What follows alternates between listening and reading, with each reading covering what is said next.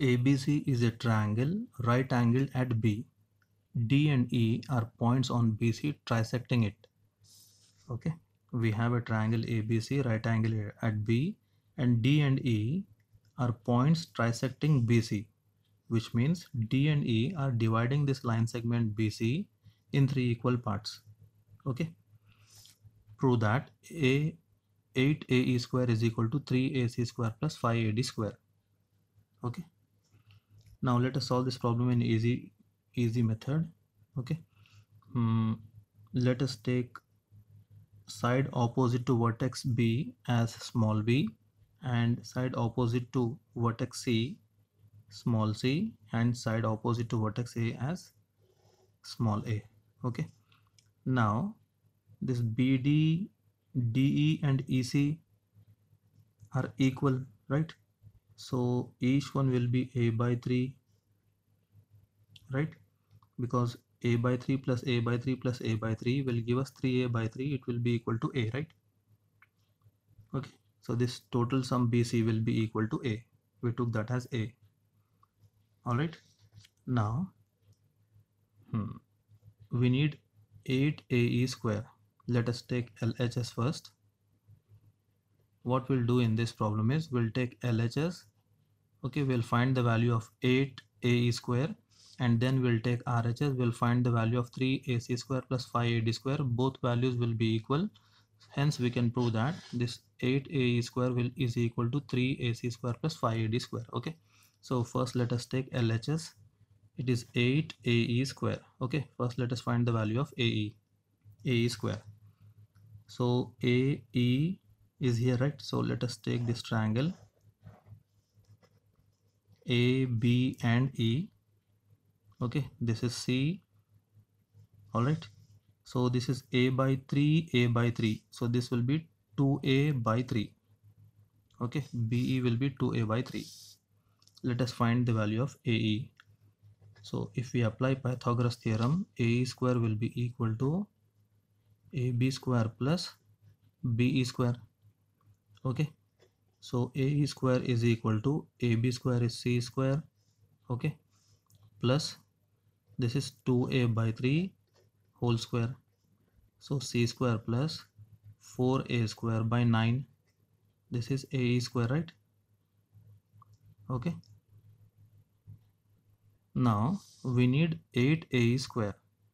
So let us multiply both sides by 8 so this will become 8a square is equal to 8 into c square plus 4a square by 9 okay. So this will become 8c square plus 8 into 4 32a square by 9 so 8a square is 8c square plus 32a square divided by 9 okay. This is LHS we got.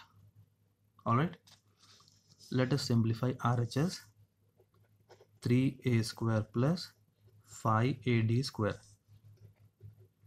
RHS okay. So we need to find AC square right? So AC square. So the big triangle. Let us take the triangle. ABC this is B this is C and this is A right? So AC square will be equal to C square plus A square if we apply Pythagoras theorem AC square will be equal to C square plus A square right? So we need 3ac square. So it is 3ac square is so let us multiply this equation both sides with 3 3ac square is equal to 3c square plus 3a square. Okay. Now let us find ad square. Let us take the triangle.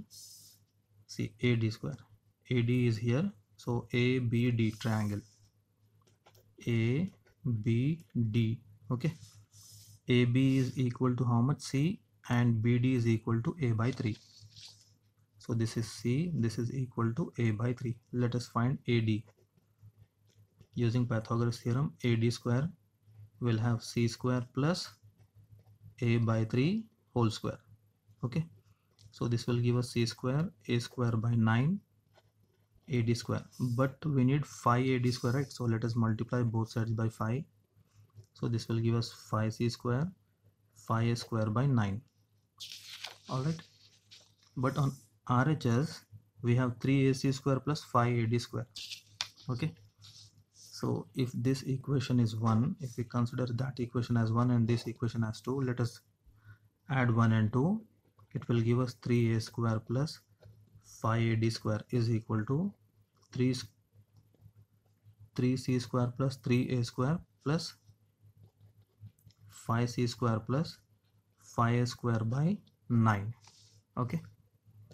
So 3c square and 5c square is 8c square plus 3a square plus 5a square by 9 let us simplify this two now. This is by 1 right? So 8c square plus LCM of this two. 1 into 9 is 9 3 into 9 is 27a square plus 5ac square. Okay. So this will be equal to this is equal to 8c square plus 27 and 5 will be 32a square divided by 9 so this is 3a square plus 5ad square is equal to this much right? This is RHS all right. Now see we got LHS RHS same. See LHS is 8c square plus 32a square by 9 RHS 8c square plus 32a square by 9 okay? Which means these two are equal right? So therefore or this implies 8 a square is equal to 3a square plus 5ad square. Okay